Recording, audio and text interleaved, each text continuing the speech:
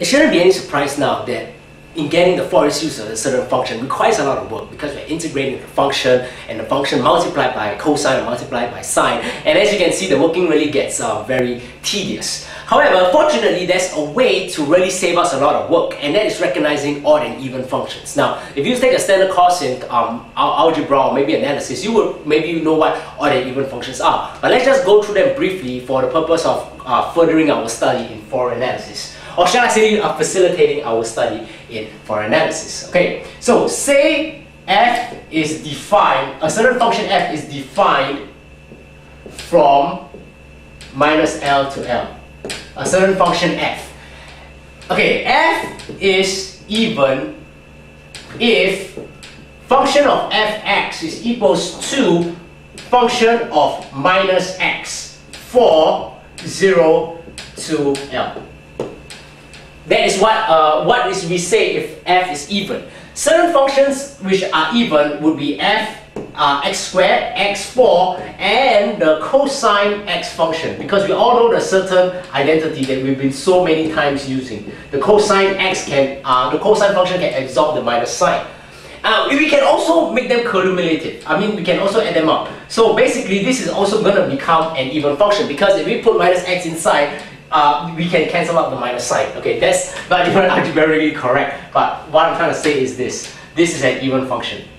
No problem. Now, graphically um, showing it, what does that mean? Well, this means is that if we got a certain function defined from 0 to L, let's just say, the to get the function f, if f is even, we reflect the function from 0 to L across the y-axis, which is over here like this. So this is minus L. Should be any, shouldn't be any surprise because since it's a reflection, uh, x will give a certain value and the minus x will give that same value. No surprise there. So this is if f is even.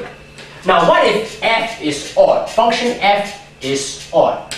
f is odd if function fx is equal to minus function of x for 0 to L. Notice the difference that the minus is now outside.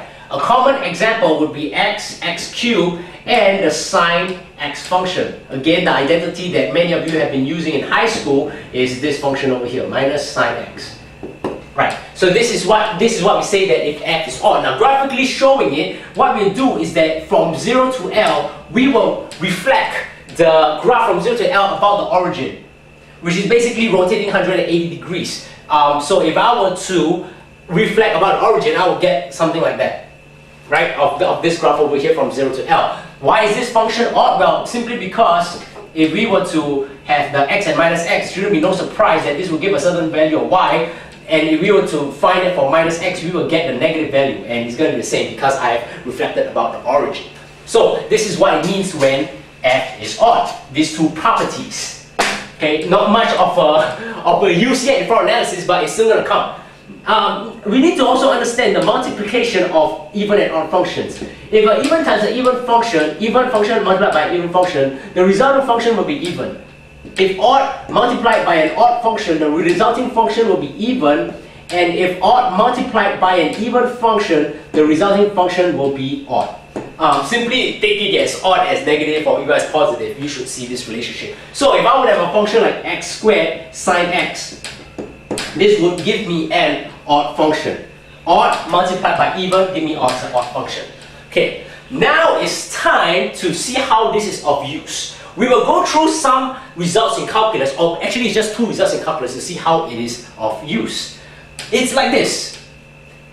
Suppose that f is even, f is even, I will get a certain function like that. Okay, I won't define the function, I mean it could be x squared, x4, but let's just say f is equal to fx, and fx as you know is even, and this is from minus pi to pi. Here comes our um, limits, okay? And if I were to integrate from minus pi to pi of this function fx, due to the symmetry of the graph, I would just, I could equal this to 2 of integrate minus uh, 0 to pi of the same function fx. I hope you can see that. It's very easy because since we're reflecting about the y-axis, this area is going to be equal to this area over here. So if I want the whole area, I just integrate from 0 to pi multiplied by the 2. This is a fairly useful result, but the more useful result, or basically the one that we really like to have, is for odd functions, okay? So if f is an odd function, and I would just draw it, say like this, uh, is an odd function. If I want to integrate it from minus pi to pi Uh, for the odd function, integrate minus pi to pi of the function f of x dx, I would get this area is a negative area, this area is a positive area, the two areas cancel out, I will get a zero. So, in Fourier analysis, more often than not, we would want odd functions to appear, or at least we want an odd function multiplied by an even function to appear, because when we do the integration, and we know we're always integrating from minus pi to pi, or from minus L to L, we get zero. That is well said enough. So, let is, let's use these results for our ever so purposeful Fourier analysis to see what we have. I'll go through very quickly. So, Fourier series of f is going to be equals to a naught plus summation n equals to 1 of infinity a n cosine nx plus bn sine n nx. Okay, remember this is a Fourier series of f on minus pi to pi. Let's just stick with minus pi. Oh, okay, you know what? Let's just put L for now. We can, we can put in the, the arbitrary um, um, limits. So basically this one changes okay, to n pi L divided by, sorry, no, no n pi x, n pi x divided by L. n pi x divided by L plus bn sine n pi x divided by L. My mistake, and yeah, that is our Fourier series of f on minus L to L. So if I were to define the Fourier coefficients, it would be minus L to L. This one would be 1 divided by 2L integrate minus L to L of the function f of x dx, an is going to be equals to 1 divided by i integrate minus L to L of the function f of x cosine n pi x divided by L dx and bn is going to be equals to minus uh, 1 divided by L minus L to L function f of x sine n pi x divided by L dx. So these are the Fourier coefficients of a certain Fourier series of um, f or on minus L to L. How is this useful? Well, we can recognize immediately whether f is even or odd because sometimes we are finding Fourier series of say f is equal to x, odd function. So what I can write is that if f is even, look carefully at the Fourier coefficients. If f is even, we can immediately eliminate this bn over here. Can you see that? Because f is even, this is even multiplied by odd. Remember, multi, uh, even multiplied by odd, integrating from minus L to L. Be very mindful of the limits, okay? Now, minus L to L, it can only be from minus, uh, minus L to L. If you're integrating from 2 to, let's just say L, this does not work. Of course, if, if yeah, this does not work at all. Because it needs to be from the center, it needs to be from the center, and we're integrating from um, respect, um, similar widths from the center, minus L to L. So this eliminates. f is even, this is going to be even, this is going to be even, even times even is still an even function. So if f is even, the Fourier coefficients I can write as 1 divided by L, integrate from 0 to L of function fx dx, and an is going to be equals to 2 divided by L, integrate from 0 to L, function f of x cosine and pi x. So, what does this tell us? This tells us that if we are immediately integrating an even function, or sorry, if we are immediately find the Fourier series of an even function, forget about Bn. To save the time the trouble, because if you were to evaluate it, you will soon find out it's going to be equal to zero. And I did that a few times, don't be guilty of my mistake. So this is what if f is even. Now, if f is odd,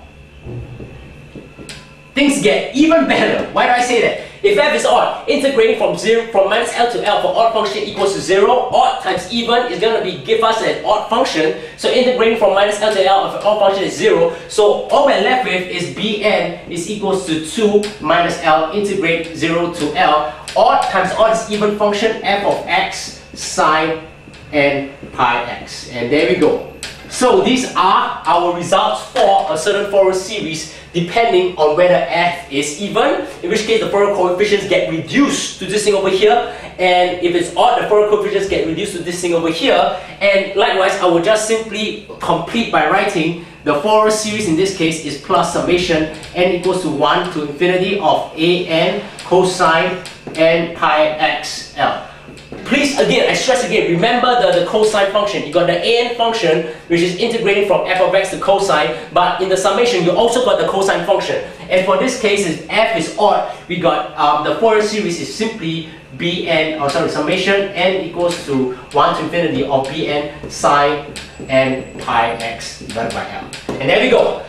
Recognizing that f is even, simplify, save yourself the trouble, just find a0 and an. If f is odd, save yourself the trouble and just find bn because of certain rules of calculus. Okay, and I stress again that we can use this property because we're integrating from minus L to L. Be very careful in the future, you need to find functions which are defined from let's just say 0 to 4, in which case may not be periodic and may not um, you know, may not bestow the same properties as the even functions. But for now, just recognize if f is even, this f is odd, it's gonna be here. Okay, thanks.